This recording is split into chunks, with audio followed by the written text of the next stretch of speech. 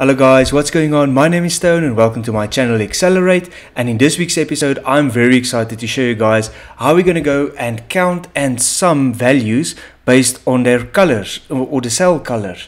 So this is not a built-in function by Excel, so we're going to build our own functions. But before we get into this, remember to hit this little subscribe button and share this video uh, to your friends for more Excel awesomeness. Right guys, so with this data range that I've got here is I've got sales from January up until December. And based on a few conditions, so if it's more than 200, I want to show uh, green. If it's between 100 and 200, I want to show yellow. And if it's less than 100, I want to show red for conditional formatting wise. And now with the additional functionality is we can count the the cells that has a green background so it is free so it counts free and the sum as well. So this is really awesome. So if we're going to change this January to let's say 190 hit enter it's going to show yellow and it updated. So it picks up the extra yellow and it sums and it deducts the green. It shows 2 where it was free previously and it deducts. So this is quite awesome functionality. So you will see there's the function that we're going to do and this is awesome. So guys, let's get straight into this one. I'm going to go exit this spreadsheet and we're going to start off with this blank file. So you can get this practice file down in the descriptions below so we can start off on the same page or you can just copy and paste or copy this into a new spreadsheet and go on as soon as you've completed it. So let's start off with the conditions. So in my data set, I want if it if this data set is more than 200, I want to show it green. So I'm going to just highlight this green here. If it's between 100 and 200, I want to show yellow. And if it's less than 100, I want to show red. So this is the basic color scheme. You can do it with which color you want with your data sets. I'm going to highlight D2 to D4, control C, and I'm going to go to D7 in my conditions, control V. So this is just my color schemes and let's get straight into the conditional formatting. I'm going to highlight B2 to B13. I'm going to click on home and conditional formatting. We're going to do a new rule here. So with my rule, it's based on a formula. So it's going to show equals. Click on B2. You're going to take away the dollar sign before the B. If it is more than 200, I want it to format to a certain color. I'm going to click on fill and I'm going to fill it with the green that corresponds with my color scheme in the background. I'm going to say OK here. There we go, OK. And there you will see it highlights the free ranges that's more than 200. I'm going to do the same with the amounts between 100 and 200. So I'm going to go conditional formatting, new rule. We're going to go user formula. This is a little bit different. We're going to say equals and because there's two variables in this case. Open up. We're going to click on the open up the parentheses, we're going to click on B2, take away the dollar sign before the B. If it is more than or equals 100, comma, we're going to click on B2 once again. Remember to take away the dollar sign. Or if it is less than or equals 200, and we're going to close the parentheses. And we're going to format this to show yellow. I'm going to say OK alright and you will see it applies it to those ranges. So it's only the free left for the red. You can say conditional format. We're going to go new rule. We're going to go with a formula.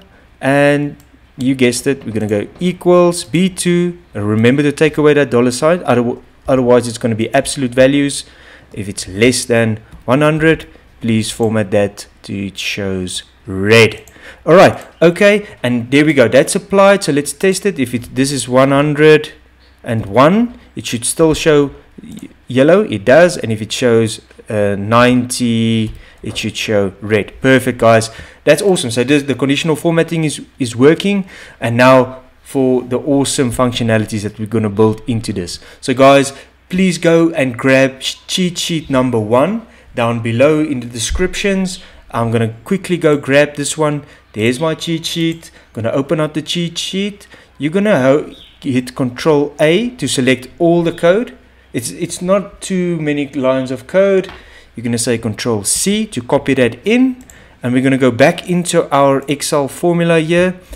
Uh, and we're going to go to a developer tab. If you don't have this developer tab open yet, quick fix, you go to File, Options, we're going to go to customize the ribbon and you're going to make sure that your developer tab is ticked on here and you're going to hit OK. So let's go with the developer tab. We can go with Visual Basic and this opens up our interface and we're going to insert two modules. Let's go for the first module. You right click here. You're going to say insert a module. So in this module, remember we already copied cheat sheet 1. So you click on the open space, control V. So this gives us the function count condition condition color cells. So this is the function that we put in. We're going to also go and insert the second module. We're going to right click and insert another module. So in module 2, we're going to quickly go grab cheat sheet number 2 down below. So I've also left it for you guys there. So I'm going to quickly go out of my user interface, cheat sheet number 2, and this is the sum code. So we're going to hit Control A to select all the code, Control C, and we're going to go back into our Visual Basic interface and you're going to hit control V to copy everything in. So now module 1 is the count and module 2 is the sum. That's it. That's all the code that we need for this. So we can go out of the user interface. I'm going to go back into my Excel here. And now this is quite awesome guys. Now just as if you're putting in a normal function like a equals sum or equals count, with this one you're going to say equals count and you're going to see this nice count conditional formatting cells function popping up. So you can just hit tab and there it is. We've we've programmed this function in. So you're going to choose the range. So we start off with the range from B2 up until B13 and then also you can hit comma and then it should be D7. So D7 is our where it references its color from and you hit enter. And here you go see guys it counts it the two there. That's perfect. So now if we want to drag this formula down very very uh, important we need to make b2 to b13 absolute values. So in front of b2 you can hit either f4 or you can say shift 4 to put in the dollar signs before the b and the 2 and before the b and the 13 to lock in that range. And now you can drag the, the formula down. And there we go. We're going to put in a little sum here. So equals sum in uh, E10 and it should sum and we should be ending up with a 12 because we've got 12 months in this data range. And the same with the sum. We're going to say equals sum and if you look closely we've got a sum conditional color cells function that we've built in via VBA double click on that bad boy and you're going to highlight your range. We're going to do the condition uh, the absolute cells control 4 before the b and the 2 before the b and the 13 as well. Comma it should be d7 the color where it references it from hit enter and there it puts in the sum. So let's test it. If we're going to highlight b4 and b8 it indeed gives us 4 436 there. And now we can drag down the formula. And if we drag the sum here it should balance back to our data range here. And let's do a final test. If January goes above 200 205 it indeed adds the free it adds the sum it deducts the red and we're still balancing. Guys what an awesome video.